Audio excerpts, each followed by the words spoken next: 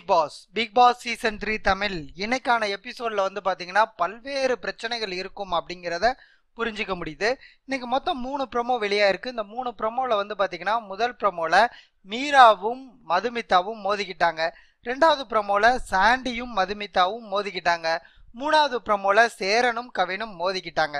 So இன்னைக்கான பிரச்சனைக்கு வந்து பஞ்சமே இல்லாத எபிசோடாக இருக்கும் அப்படிங்கிறது கிளியராக தெரியுது. ஜாலியாக கொஞ்ச நேரம் போயிட்டு இருக்கிறப்ப ஒரு பிரச்சனையும் அடுத்து கொஞ்ச நேரம் அதுலேருந்து டீவியேட் ஆகி ஜாலியாக போகும்போது திரும்ப ஒரு பிரச்சனையும் அடுத்து ஜாலியாக போகும்போது அடுத்த பிரச்சனையும் இப்படி பார்ட் பார்ட்டாக வருங்கிற மாதிரி தான் நமக்கு வந்து தெரியுது. மேலும் இதில் வந்து மூணு ப்ரோமோ வந்து பார்க்குறப்ப மதுமிதா வந்து மீரா கிட்ட எகிர்னது இது எல்லாமே வந்து பார்த்தீங்கன்னா அந்த கேரக்டர் வைஸ் அவங்க கோவப்படுறது இது எல்லாமே கிளியராக இருக்குது சாண்டி வந்து பார்த்தீங்கன்னா உங்களுக்கு சாண்டி கிட்ட வந்து பண்ணுறப்ப சாண்டி பொதுவாகவே எல்லாரையுமே வந்து லந்து பண்ணிட்டு இருப்பாரு. ஆனால் இங்கே மதுமிதா முகத்தில் ஏதோ தடவி இருக்காங்க. அந்த எரிச்சல் தான் அவங்களுக்கு கோபத்தை ஏற்படுத்தியிருக்கு ஸோ பிசிக்கலாக வந்து இதை மாதிரி வந்து மதுமிதாவை அட்டாக் பண்ணனால தான் அவங்களோட அந்த கோபமும் ஆத்திரமும் வெளியே வந்தது அப்படிங்கிறத பார்க்க முடியுது. ஆனால் இந்த இடத்துல வருத்தப்படாத வாலிபர் சங்கத்தின் சார்பாக ஆதரவு தெரிவித்து மதுமிதா வந்து இத மாதிரி துன்புறத ரசிச்ச கவின் வந்து அடுத்து மூணாவது ப்ரோமோல அப்படியே கான்ட்ரவர்சியா மாறுறாரு. லாஸ்ட்லியாவுக்கு ஒண்ணுனா பாவம் பையன் துடி துடிச்சு போயிடுவார் இல்லையா? அதனால லாஸ்ட்லியா வந்து திருடியிருப்பாங்க அப்படிங்கிற விஷயத்துல அவங்க மேல வந்து ஒரு குற்றச்சாட்டு வருது.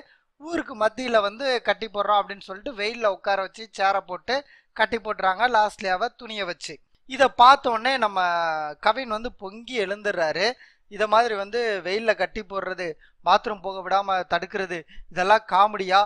அப்படின்னு சொல்லிட்டு சேரன் கூட வம்புக்கு போகிறாரு சேரன் வந்து சொல்றாரு இது வந்து நகைச்சுவை தான் நாட்டாம சொல்றத வந்து நீங்க கேட்கணும் அப்படின்னு சொல்றப்ப ரேஸ்மா வந்து சொல்றாங்க அதையும் என்கிட்ட கத்தி சொல்றீங்க அப்படின்னே நான் கத்தி தான் பேசுவேன் எல்லாருக்கும் தான் சொல்றேன் அப்படின்ட்டு சேரன் சொல்றாரு. ஸோ சேரன் வந்து அந்த கதாபாத்திரத்துக்குள்ளே இருக்காரு. சேரனும் மத மதுமிதாவும் அவங்க எதை யோசிச்சாலும் அந்த கதாபாத்திரத்தின் வழியாக யோசிக்கிறாங்க. ஆனா இவங்க கதாபாத்திரத்தை விட்டு வெளியே வந்து கவின் யோசிக்கிறாரு. இப்ப லாஸ்ட்லியாவை வந்து வெயில்ல கட்டி போட்டதுக்கே உங்களால தாங்க முடியல. நீங்க அப்படியே புழு மாதிரி துடிக்கிறீங்க. ஆனா மதுமிதா கிட்ட வந்து அந்த டாஸ்க் அவங்க பண்ணிட்டு முகம்லாம் எரியுதுங்கிறாங்க. அநேகமாக மிளகாத்தூளாக தான் இருக்கும்னு நினைக்கிறேன். அந்த மாதிரி ஒரு டாஸ்க் கொடுக்குறப்ப அதை நீங்கள் ரசிச்சிங்க இல்லைங்களா? அப்போ மதுமிதாக்கு ஒரு நியாயம் லாஸ்ட்லியாக்கு ஒரு நியாயமா?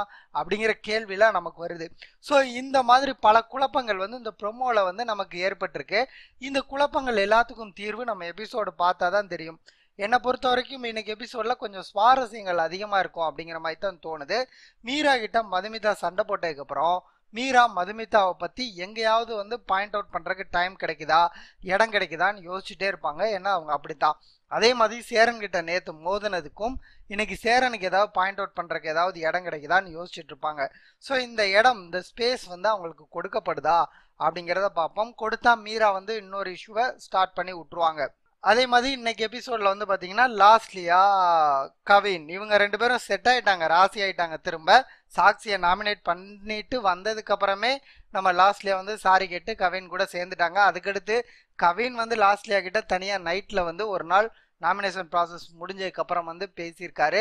அப்படிங்கிறத அன்சீனில் வந்து அவரே அவர் திருவாயால் சொன்னார். ஸோ ரெண்டு பேரும் வந்து ஓரளவு இணைஞ்சிட்டாங்க.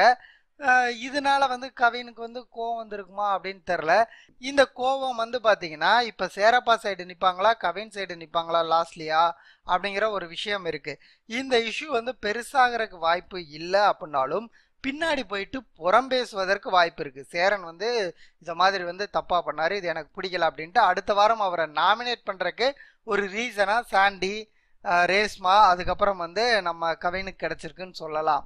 என்னை பொறுத்த வரைக்கும் வந்து பார்த்தீங்கன்னா அவர் நாட்டாமங்கிற ரோல் ப்ளே பண்ணுறாரு அவர் வந்து அவரோட தீர்ப்பை கொடுக்குறாரு.